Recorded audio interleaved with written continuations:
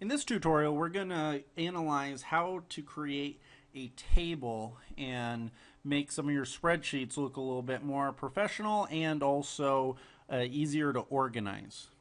Here in our Excel spreadsheet, we have the historical batting records of Derek Jeter.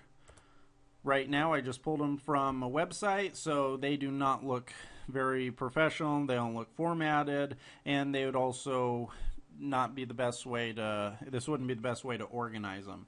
So Excel has a built-in feature called the format as table function.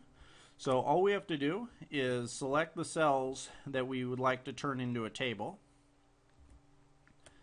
And then from here, just select the format we want. So want to go with something dark and also separated by row so it's easier to read since there are so many columns here. Asks for where the data is. If I made any mistakes uh, in highlighting, I could click on this button and make changes.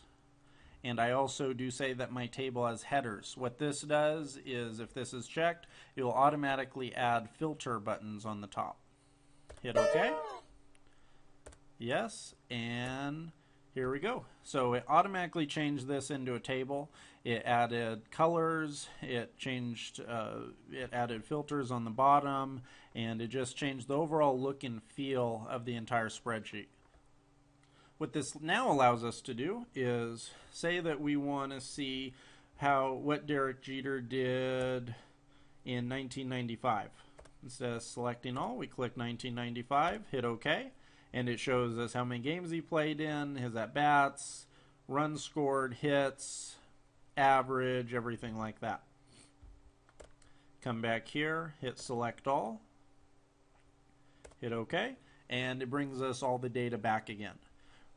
Say that we selected this and we really didn't like the color scheme or we want to change something about it. We can come up to the top and you see that when we're clicked on this table, there's a new ribbon up here called Table Tools Design. Click Design, and right here we can make any number of changes. We can change the color. We can also change just a lot of different formatting combinations. So say we didn't really like the black, say we want to go with something like this, blue. It automatically changes, and we can also, right here, change a couple different items on the sides, bottom, uh, to make it a little bit more customized.